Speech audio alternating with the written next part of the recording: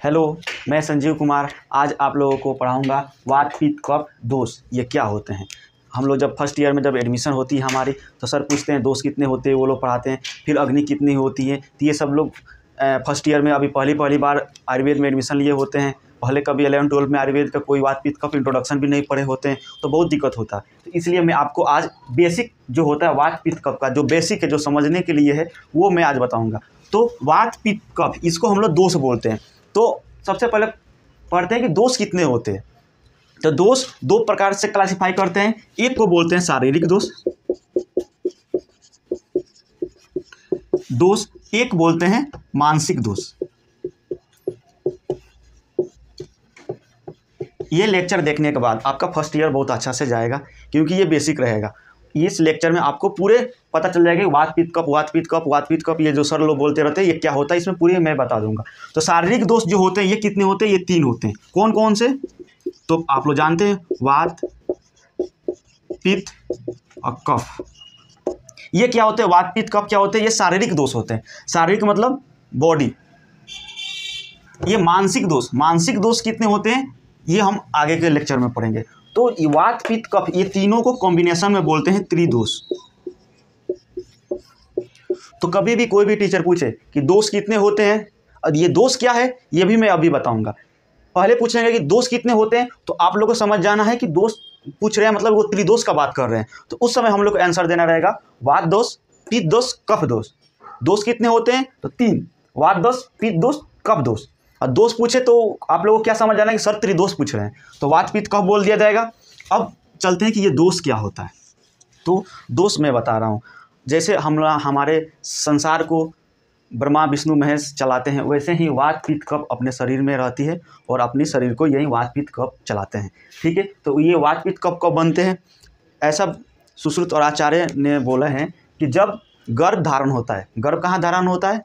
गर्भाशय में मतलब जब यूटेरस में जब जाइगोड बनता है, जब उसका इम्प्लांटेशन होता है तो उस समय वात पित्त कफ जो सबसे प्रबल में होता है मतलब जो कंडीशन होती है उस गर्भ की तो जब ये वात पित्त कफ बनता है तो उसको हम लोग बोलते हैं प्राकृतिक प्राकृतिक दोष। ठीक है? मतलब क्या? कि जब गर्भ बनती है, उस समय जो दोष बनते बनते हैं, उसको बोलते हैं हम लोग प्राकृतिक दोष।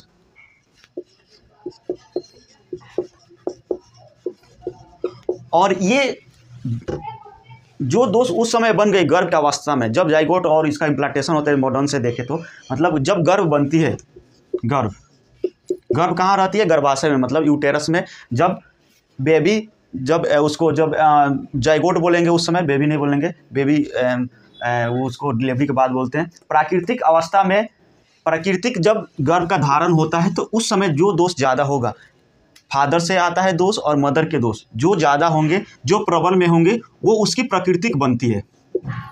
वात, पीत, कफ। अब ये तीनों में जो दोष ज़्यादा होगा, वात दोष भी ज़्यादा हो सकता है उस समय पित्त दोष भी हो सकता है, कफ दोष भी हो सकता है, वात, पीत भी हो सकता है, वात, कफ भी हो सकता है, या तीनों हो सकता है तो उस समय जो ज़्यादा दोष प्रबल में रहेंगे, उस दोष की उस समय उसकी बॉडी हो जाएगी। मान लीजिए कोई व्यक्ति है, वो वातज और पित्तज उसकी प्रकृतिक है। सर बोलते हैं कि वातज प्रकृतिक के व्यक्ति, कफज प्रकृतिक के व्यक्ति। इसका मतलब हुआ कि जब उसकी गर्भ जब बनी होगी, उस समय जो दोष उसके शरीर में ज़्यादा होंगे, वो दोष का वो उसकी प्रकृतिक हो गई और ये कभी नहीं बदलती। मान लीजिए कोई इंसान है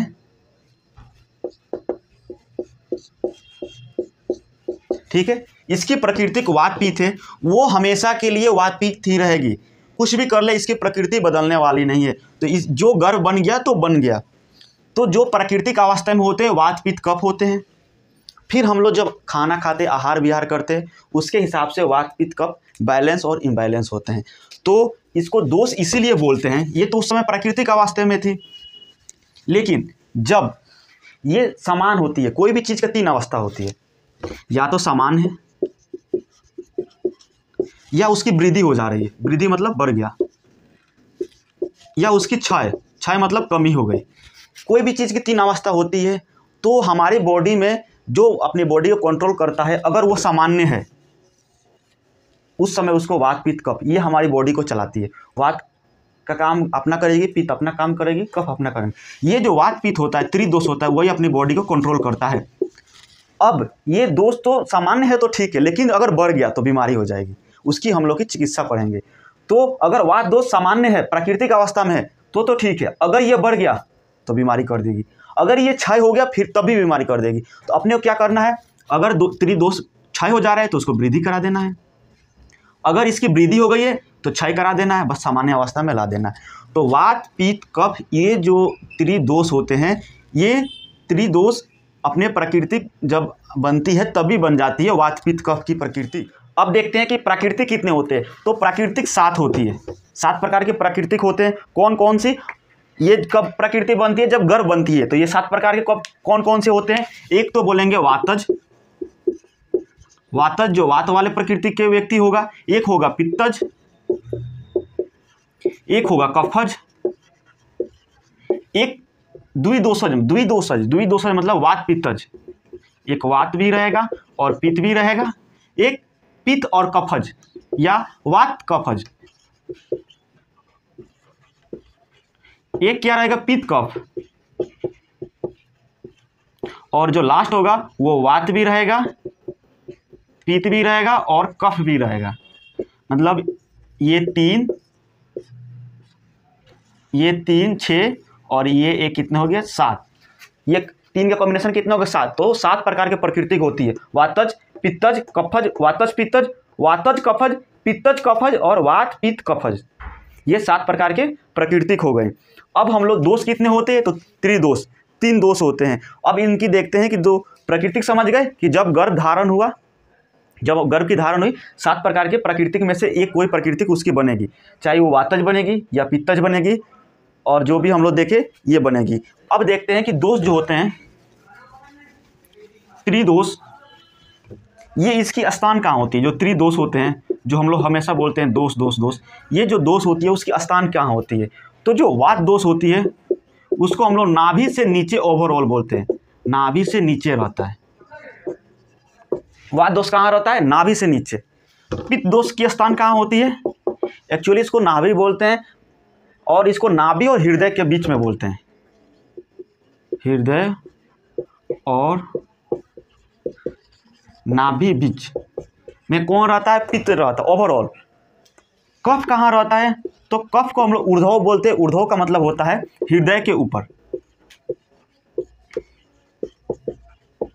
आए समझ में? वात का स्थान कहाँ है? नाभि से नीचे। पित्त का स्थान हृदय और नाभि के बीच और कफ की स्थान हृदय के ऊपर। अब हम लोग बात करते हैं कि ये जो वात पित्त कफ होते हैं, वो कब ज़्यादा होते हैं। तो जब, अब हम लोग देखेंगे जो वात पित्त कफ का है, उसकी अवस्था कहाँ है। तो जो वात जो होता है, वो वृद्ध अवस्था में होता है। वृद्धावस्था वृद्धा मतलब क्या होता है? बूढ़े में वात होता है। पित्त कहाँ होता है? तरुण अवस्था।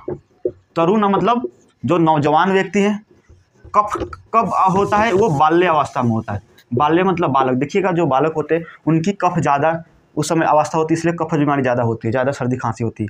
जो तरुण अवस्था होते हैं, उनमें पित्तज अवस्था हो जाती है तो उनकी स्किन डिज़ीज़ ज़्यादा होती है। फिर वातज जब वृद्ध हो जाते हैं तो उनकी कमर दर्द, ये जो भी दर्द होते हैं, वो वात रोग के कारण होते हैं तो वृद्धावस्था में वात दोष बढ़ जाती है।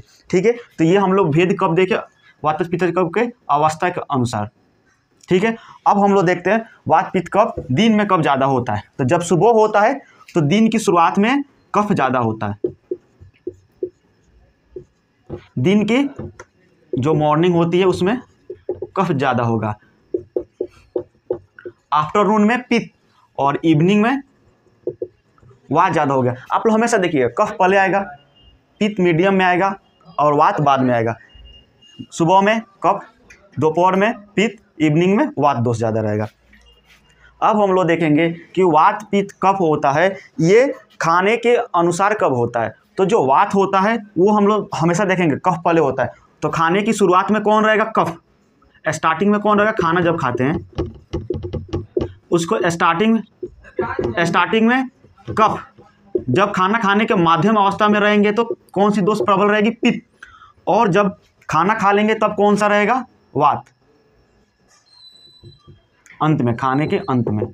खाने के अंत में क्या हो जाएगा? वात हो जाएगा। अब हम लोग देखेंगे वात पित्त कफ का भेद कितने होते हैं। वात पित्त कफ, अब इनकी भेद देखेंगे। तो जो वात के भेद पाँच होते हैं, पित्त के भी भेद पाँच होते हैं, कफ का भी भेद पाँच होते हैं। तो जो वात के पाँच भेद होते हैं, वो कौन कौन से होते हैं? प्राणवायु बयान वायु बयान वायु अपने पूरी आर्टरी वेन में होती है, जो पूरी शरीर में होती है। उदान वायु समान वायु जो समान वायु होती है, वो खाने को पाचन में मदद करती है। अपान वायु वो क्या होती है? शरीर के निचली भाग में होती है।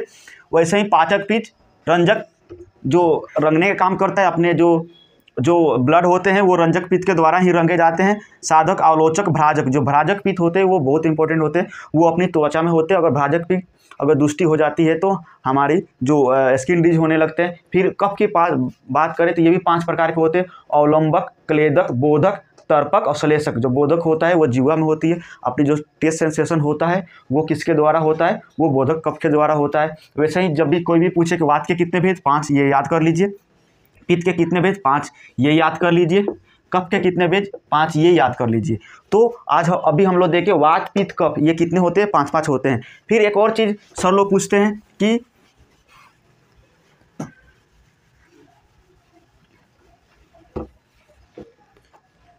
ये धातु कितनी होती है? धातु। ये धातु बहुत आती है।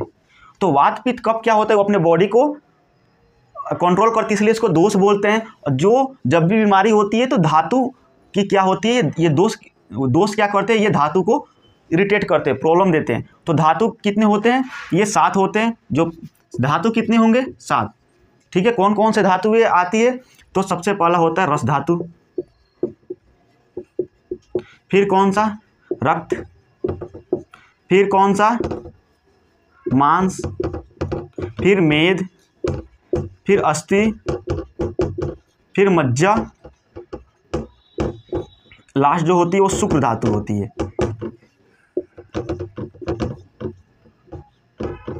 ठीक है? धातु कितनी होती है? तो रस धातु, रक्त धातु, मांस धातु, मेद धातु अस्थि धातु, मज्जा धातु, शुक्र धातु। रस धातु क्या होता है? जब हम लोग खाना खाते हैं तो वो सबसे पहले डाइजेशन जो डाइजेस्टिव जो सबसे पहले मैटर होते हैं, उसको बोलते हैं रस धातु। रस से रक्त मतलब ब्लड बनता है। ब्लड से क्या बनेगा? मांस। मतलब मसल्स बनते हैं। मसल से मेद। मेद धातु बनता है। मेद के बाद अस्थि अस्थि को हड्डी बोलते हैं। अस्थि से मज्जा। जो बोन मेरो होता है, वो अस्थि से बनता है। फिर जो मज्जा होता है उससे शुक्र धातु बनता है। तो कोई भी पूछेगा, धातु कितने होते हैं? तो सात। रस, रक्त, मांस, मेद, अस्थि मज्जा शुक्र फिर इनकी काम क्या है, ये हम लोग नेक्स्ट लेक्चर में पढ़ेंगे। फिर पूछेंगे लोग, सर लोग की अग्नि कितनी होती है? तो अग्नि तेरह होती है। आते हैं, सर लोग पूछते अग्नि कितनी होती है? अग्नि कितनी होती है? तेरह होती है। सबसे जो फ़र्स्ट होती है, उसको बोलते हैं जाठर अग्नि। ये स्टोमक में होती है, अमाशय में जाठर अग्नि। उसके बाद जो पाँच होती है, वो धातु अग्नि होती है, धातु। सॉरी पाँच भौतिक अग्नि, जो दूसरी होती है, वो पाँच भौतिक। पाँच भौतिक अग्नि कौन कौन सी होती है? पाँच होती है। एक तो होगी जाठर अग्नि, पाँच होगी है, पाँच नामी है, पंच। पंच मतलब पाँच, पंच भौतिक। पंच भौतिक क्या होती है, मैं बता दे रहा हूँ। फिर जो सात होती है, वो होती है धातु अग्नि। धातु अग्नि कितनी होती है? ये होती है सात। यही जो धातु अभी बात कर, रस धातु, मास धातु, उसकी अग्नि होती है, उसको धातु अग्नि। तो ये कितने हो गए? सात, पाँच, बारह, एक, तेरह। तेरह प्रकार की अग्नि हो गई। और ये पाँच भौतिक क्या होती है? हम लोग को एक कॉन्सेप्ट होता है पाँच भौतिक मतलब आकाश आकाश, वायु, अग्नि, जल और पृथ्वी।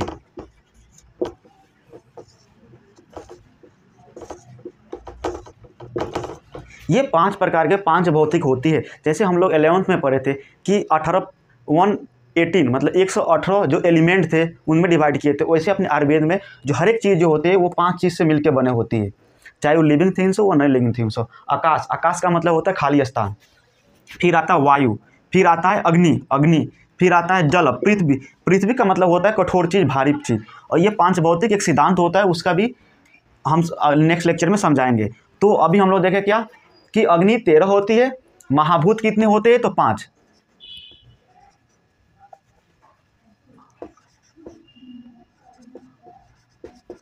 महाभूत पाँच होते हैं। कौन कौन से? आकाश महाभूत, वायु महाभूत, अग्नि महाभूत, जल महाभूत, पृथ्वी महाभूत। महाभूत कितने होते हैं? पाँच। अग्नि कितनी होती है? तेरह। धातु कितने होते हैं? सात। रस, रक्त, मास में सर्दी मस्ता सुख। और धातु कितनी होती है? सात। वात पित्त दोष कितने होते हैं? त्रिदोष। और आप लोग की इस लेक्चर में कोई भी डाउट हो या नेक्स्ट कोई भी सब्जेक्ट में कोई भी डाउट हो, आप हमें कमेंट सेक्शन में पूछ सकते हैं। मैं उसका लिए एक नया वीडियो बना दूँगा।